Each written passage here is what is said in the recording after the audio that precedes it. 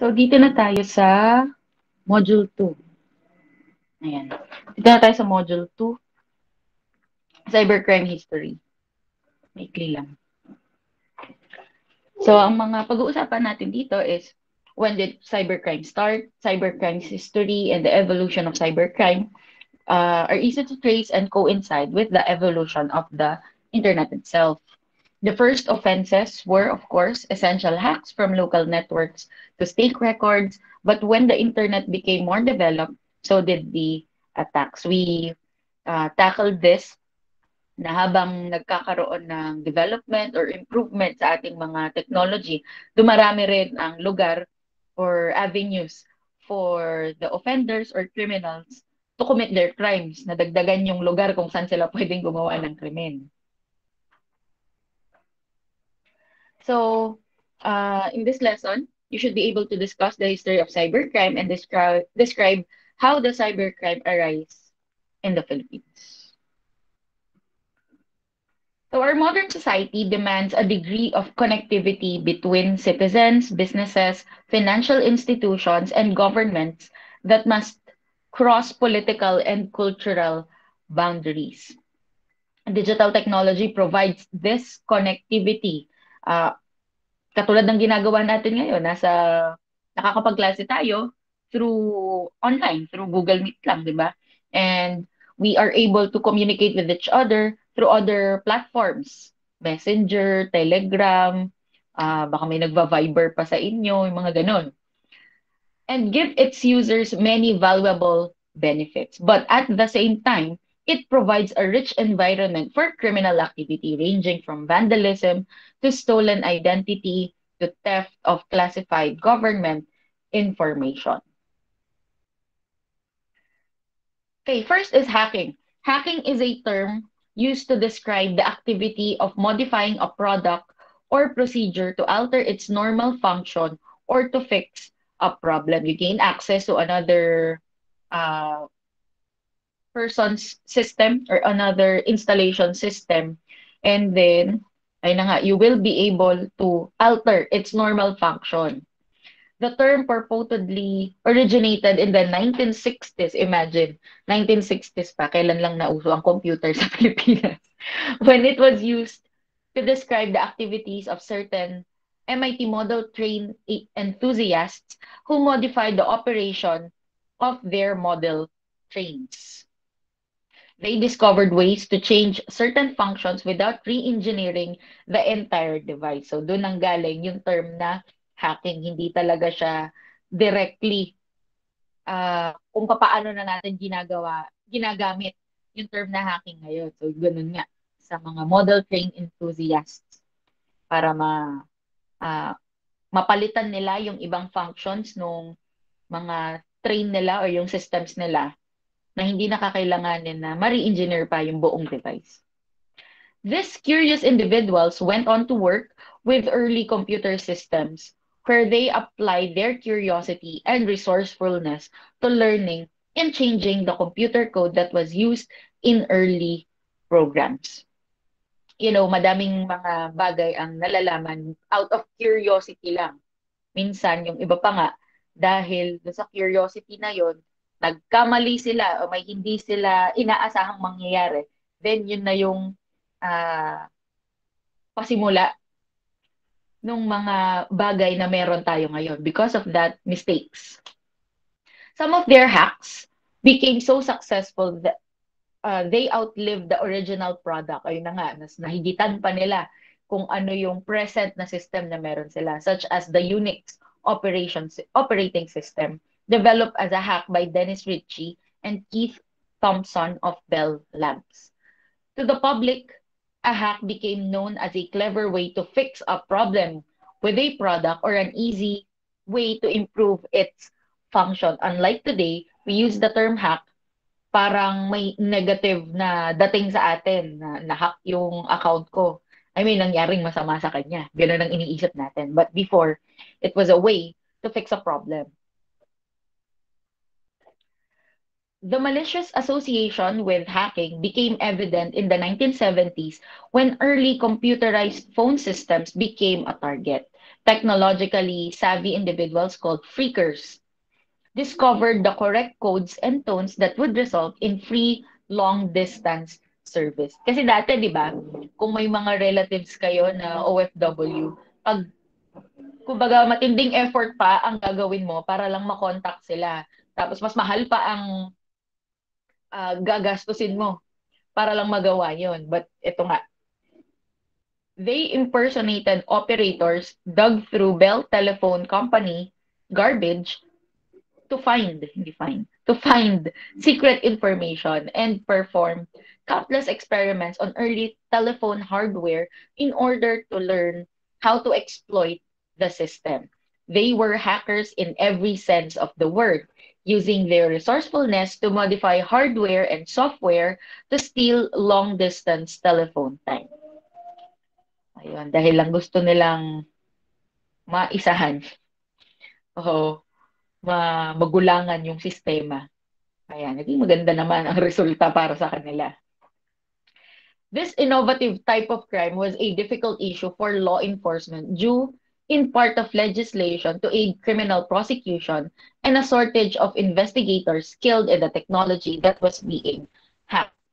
Actually, tayo nga, di ba, dito sa Pilipinas, nagkaroon lang ng anti-cybercrime law 2012. Eh, ang tagal nang nag exist ng mga computer. So, kaya yung mga uh, crimes that happened before 2012, hindi na pwedeng ma-prosecute. Kaya, sabi nga dyan, nahihirapan ang mga nasa law enforcement agencies. Alam nilang may uh, problema. They know there's something wrong, but they cannot do anything about it because of the legislation that we have in the present times. Uh, it was clear that computer systems were open to criminal activity, and as more communications that are complex became available to the consumer, more opportunities for cybercrime developed.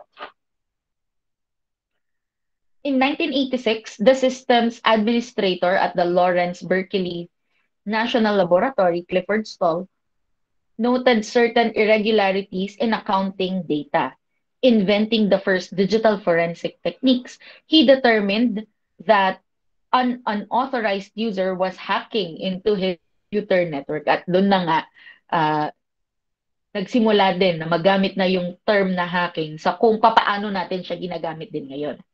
Stoll used what is called a honeypot tactic, which lures a hacker back into a network until enough data can be collected to track the intrusion of to its source. Kumbaga, uh, katulad nga sa honeypot tactic, inaakit ng isang tao yung isa pang tao para gawin yung gusto niya o para makuha yung gusto niya. Ganon din dito sa ginawa ni uh, Clifford Stoll. Uh, ginawa niya, nilure niya nga yung hacker para bumalik doon sa system. Kumbaga, mag-enter siya muli doon. And then, uh, papatagalin niya na nandun siya, nandun yung hacker sa system hanggang makakuha siya ng enough data para makilala na siya.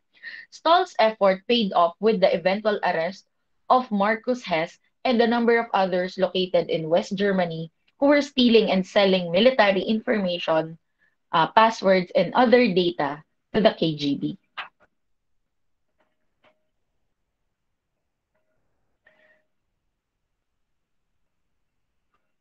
The Berkeley lab intrusion was soon followed by the discovery of the Morris worm virus, created by Robert Morris, a Cornell University student o estudyante pa naka-invento nun.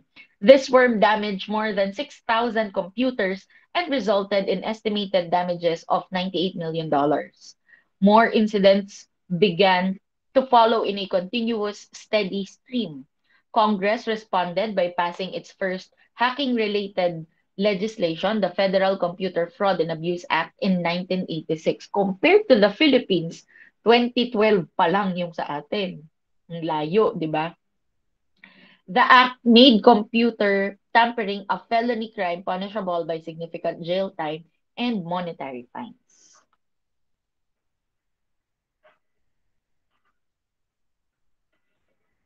Okay, so this is the outline history of cybercrime. So it is impossible to know the exact origin of cybercrime and the very first instance in which someone committed a crime across a computer network. Kasi nga, dahil iba ang cyberspace, hindi siya ganon uh, especially before, hindi siya well documented. Etong mga nabigay nating example, eto na lang yung mga napabalita na o yung mga naging malaking issue. What is possible to know is the first major attack on a digital network. Yun nga. And then use that as a reference point of event in the evolution of cyber-based crimes. So in 1971, John Draper, a phone freak, katulad nung nabanggit kanina, yung mga freakers daw sila, uh, discovers that a whistle given out as a prize in boxes in Captain Crunch cereal produced the same tones as telephone switching computers of the time. Phone freak is a term used to describe computer prog- programmers obsessed with computer networks. Ah, sorry, with phone networks. During this time kasi, hindi pa talaga laganap ang paggamit ng internet. So, telephone systems ang nahahack noon or yun ang na uso o yun ang kaya nila noon. Uh, the basis of modern day computer networking. So that was that. He built a blue box with the whistle that would allow him to make free long distance phone calls and then published instruction on how to make it. The instances of wire fraud, fraud rose significantly. And then in 1973, a teller at a local New York bank used a computer to embezzle over $2 million. Oh, say. In 1978, the first electronic bulletin board system came online and quickly became a preferred method of communication for the cyber world. It allowed fast, free exchange of knowledge, including tips and tricks for hacking into computer networks. Pag sinabi nating electric bulletin board system, parang sa canvas natin, ba merong announcement. So, andun lahat ng mga uh, bagay na dapat ninyong malaman. Yan, bulletin board system. And then in 1981, Ian Murphy, known as Captain Zap to his fans, was the first person convicted of a cybercrime. He hacked into the AT&T network, uh, that's a telephone company, and changed the internal clock to charge off hours rates at peak times. He received 1,000 hours of community service and 2.5 years of probation, a mere slap on the wrist compared to today's penalties and was the inspiration for the movie Sneakers. Kumbaga, noon, uh, magaan pa siya kasi community service lang tapos probation pa. Samantalang ngayon, kulong talaga. In 1982, Elk Cloner, a virus, is written as a joke by a 15-year-old kid. It is one of the first known viruses to leave its original operating system and spread in the wild. It attacked Apple II operating systems and spread by floppy disk. Inabutan niyo pa ba ang floppy disk? Alala ko noon, nagko-kolekta pa kami ng ganyan, iba-ibang kulay. Sobrang konti lang nang pwede mong ma-save doon. Kaya kada file, siguro mga tatlong files, document files lang ang ma-save mo. Kailangan gamitin mo na siya agad or i-print mo na agad kasi kailangan mo nang mag-delete. Yun, kung wala kang pambili ng floppy disk. Kailan na lang naman ang flash drive eh. Okay, in 1983, the movie War Games is, is released and brings hacking to the mainstream. The movie depicts a teenage boy who hacks into a computer, government computer system through a backdoor and nearly brings the world to World War II. Uh, three. In 1986, Congress passes the Computer Fraud and Abuse Act. This is in the United States, making hacking and theft illegal. In 1988, Robert Morris Jr., a graduate student at Cornell, released a self-replicating worm onto the Defense Department's ARPANET. Uh, ARPANET. ARPANET yan. Uh, if you can remember yung worm, this is somehow, uh, sabihin na nating virus, na kung saan diniduplicate niya yung sarili niya hanggang sa mapuno na yung memory mo. At kapag, syempre, napuno na yung memory mo, hindi mo na magagamit yung uh, device.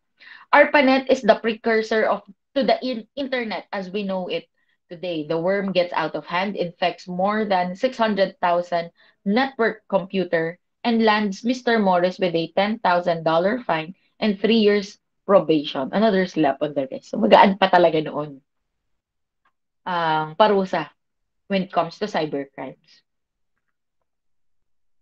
Because maybe ang thinking nila, hindi naman ganun kadami talaga. Hindi siya talamak. Hindi talamak ang cybercrime. Kaya ganun lang sila kagaan. In 1989, the first large-scale case of ransomware is reported. The virus posed as a quiz on the AIDS virus and once downloaded, held computer data hostage for $500. At the same time, another group is arrested stealing US government and private sector data and selling it to the KGB. Um, siguro familiar na, to, na kayo sa KGB. Uh, katapat yan ng CIA. And then, in Russia, katapat ng CIA sa Russia. In 1990, the Legion of Doom and Masters of Deception, two cyber-based gangs, engage in online warfare. They actively block each other's connections, hack into computers, and steal data. These two groups were large scale phone freaks, famous for numerous hacks into telephone mainframe infrastructure. The proliferation of the two groups, along with other cyber gangs, led to an FBI sting cracking down on the BB, BBS's promoting credit card theft and wire fraud. Nowadays, talamak na talaga yan. Hindi lang siguro dalawa ang cyber gangs noon. Ah, ngayon, sorry. Ngayon, hindi lang dalawa ang cyber gangs ngayon. Madami na sila. In 1993, Kevin Paulson is caught and convicted for hacking into the phone systems. He took control of all phone lines going to an LA radio station in order to guarantee winning a call-in contest. At one point, he was featured on America's Most Wanted when the phone lines for that show went mysteriously silent. When the FBI began their search, he went on the run but was eventually caught. He was sentenced to five years in federal penitentiary and was the first to have a ban on internet use included in his sentence. Minsan, may mga special uh, punishment na specific lang sa iilang tao. In 1994, uh, the World Wide Web is laun- launched, allowing black hat hackers to move their product info from the old bulletin board systems to their very own websites. A student in the UK uses the information to hack into Korea's nuclear program, NASA, and other US agencies using only a Commodore Amiga personal computer and a blue boxing program found online. Kumbaga, naging uh, simple lang yung ginawa niya, pero ang laki ng damage kasi mag-hack ka ba naman sa NASA, 'di ba? In 1995, my macroviruses appeared. Macroviruses are viruses written in computer languages embedded within applications. These macros uh, run when the application is open, such as word processing or spreadsheet documents, and are easy and are an easy way for hackers to deliver malware or malicious software.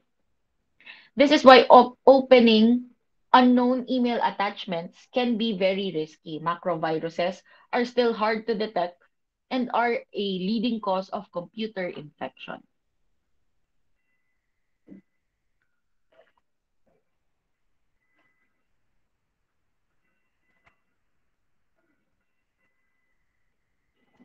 In 1996, CIA Director John Dutch testifies to Congress that foreign-based organized crime rings were actively trying to hack U.S. government and corporate networks. The USGAO announced that its files had been attacked by hackers at least 650,000 times and that at least 60% of them were successful. In 1997, the FBI reports that over 85% of companies had been hacked and most don't even know it. The Chaos Computer Club hack Quicken software and are able to make financial transfers without the bank or the account holder knowing about it. In 1999, the Melissa virus is released. It becomes the most virulent computer infection to date to date and results in one of the first convictions for someone writing mal- malware. The Melissa virus was a macrovirus with the intention of taking over email accounts and sending out mass mailings. The virus writer was accused of causing more than $80 million in damages to computer networks and sentenced to five years in prison. In 2000, the number of types of online attacks grows exponentially. Music retailer CD Universe is extorted for millions after its clients' credit card information was published online. Eh, di ba confidential na information yun? Uh, denial of service attacks are launched numerous times against AOL, Yahoo, eBay, and many others. Fake news causes shares of Emulex stock to crash nearly 50%.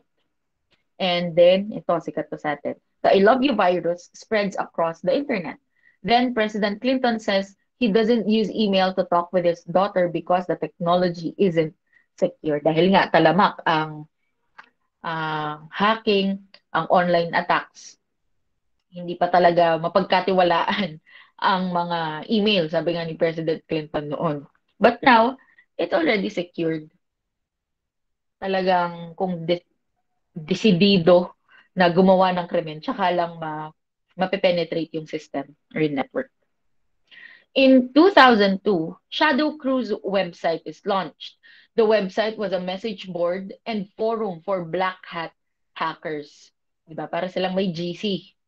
Members could post, share, and learn how to commit a multitude of cybercrimes and avoid capture. The site lasted for two years before being shut down by the Secret Service. 28 people were arrested in the US and six other countries. In 2003, SQL Slammer beca- becomes the fastest spreading worm in history. It infected SQL servers and created a denial of service attack which affected speeds across the internet for quite some time. Kaya nga siya DOS, 'di ba? Denial of service. Hindi ka hindi niya mabibigay yung serbisyo na dapat niyang maibigay dahil nga sa mga ganito attack. Uh, in terms of infection speed, it spread across nearly 75,000 machines in under 10 minutes. In 2007, the instances of hacking, data theft, and malware infections skyrockets. The numbers of records stolen, machines infected rise into the millions, the amount of damages cost into the billions, and then the Chinese government is accused of hacking into US and other governmental systems. Okay, cybercrime in the Philippines. By far, the most popular incidence of cybercrime in the Philippines is the I love you virus or the love bug. The suspect in the case is a 23-year-old student from a popular computer university in the Philippines who drafted the virus with the vision of creating a program that is capable of stealing passwords in computers, uh, ultimately to have free access to the internet.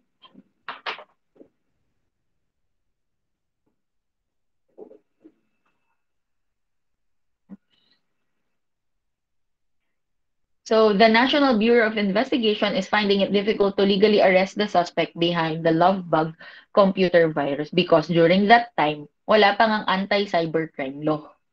Uh, uh, there is no crime if there is no law punishing it.